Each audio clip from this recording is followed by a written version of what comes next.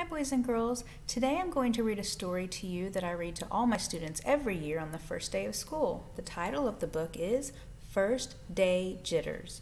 The author of the book is Julie Danneberg. The illustrator of the book is Judy Love. I hope you like it. Even the dog's ready for school.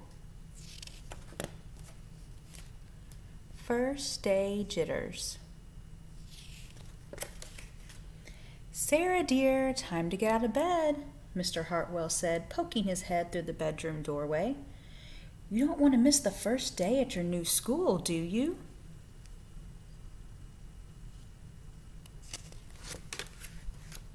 I'm not going, said Sarah and pulled the covers over her head. Of course you're going, honey, said Mr. Hartwell as he walked over to the window and snapped up the shade.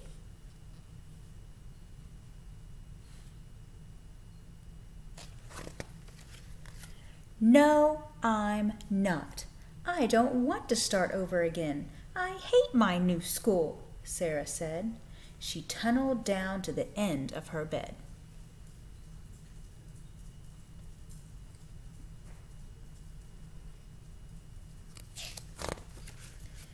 How can you hate your new school, sweetheart? Mr. Hartwell chuckled. You've never been there before. Don't worry, you liked the other school. You'll like this one too. Besides, just think of all the new friends you'll meet. That's one of my favorite parts of a new year is meeting all the new friends. That's just it. I don't know anybody, and it will be hard, and I just hate it, that's all.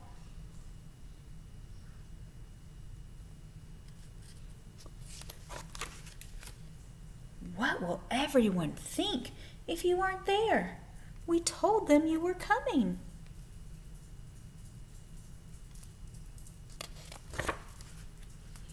They will think that I'm lucky, and they will wish that they were at home in bed like me. Mr. Hartwell sighed. Sarah Jane Hartwell, I'm not playing this silly game one second longer. I'll see you downstairs in five minutes. Even the cat doesn't want her to go to school. Sarah tumbled out of bed. She stumbled into the bathroom. She fumbled into her clothes. Wow, what a messy room she has.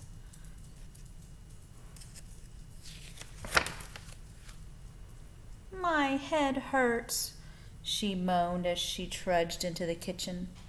Mr. Hartwell handed Sarah a piece of toast and her lunchbox. Do you think her head is really hurting, or do you think she's pretending so she doesn't have to go to school? Let's find out. They walked to the car.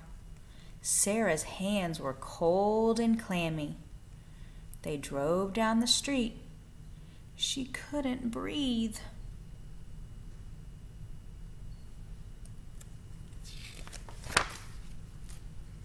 And then they were there.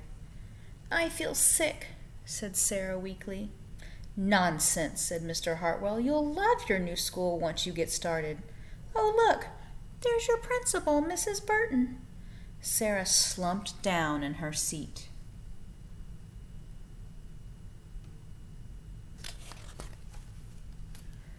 Oh, Sarah, Mrs. Burton gushed, peeking into the car. There you are. Come on, I'll show you where to go.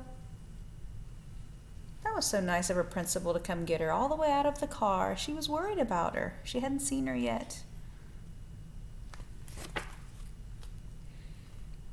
Look at all those kids. Look how excited they are to be back at school. She led Sarah into the building and walked quickly through the crowded hallways. Don't worry. Everyone is nervous the first day, she said over her shoulder as Sarah looked up. When they got to the classroom, most of the children were already in their seats.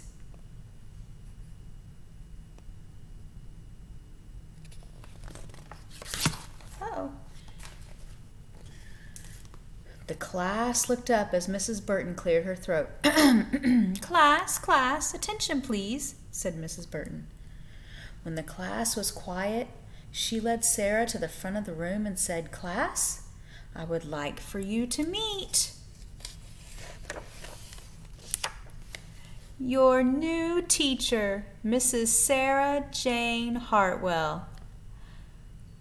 Boys and girls, who was Sarah that whole time? She was the teacher. So, even though you might feel like you might be nervous or scared on the first day of school, I want you to know that even Mrs. Collins was feeling that way too. Sometimes I don't know what school's going to be like, and so I get a little nervous too, and that's okay. So now it's your turn. I want you to share with me and the rest of the class how were you feeling on the first day of school? So now I want you to find a piece of paper, a pencil, and some crayons, and I want you to draw a picture of what you look like today on your very first day of first grade. After you draw your picture, I would like for you to write a little story or maybe just a sentence or two. I want you to tell me how you were feeling. Were you feeling nervous, like Sarah? Were you happy? Were you scared? Were you worried? I can't wait to see your writing and hear all about it. Make sure you save it because we're going to share it next time. All right, see you soon. Bye bye.